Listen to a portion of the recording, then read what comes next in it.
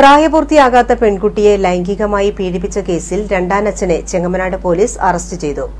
മാനസിക അസ്വാസ്ഥ്യം പ്രകടമാക്കിയ പതിനാലുകാരിയായ ബാലികയെ കൌൺസിലിംഗിന് വിധേയമാക്കിയപ്പോഴാണ് പീഡന വിവരമറിയുന്നത് പ്രതിയെ പോക്സോ നിയമപ്രകാരം കേസെടുത്ത് അറസ്റ്റ് ചെയ്തു.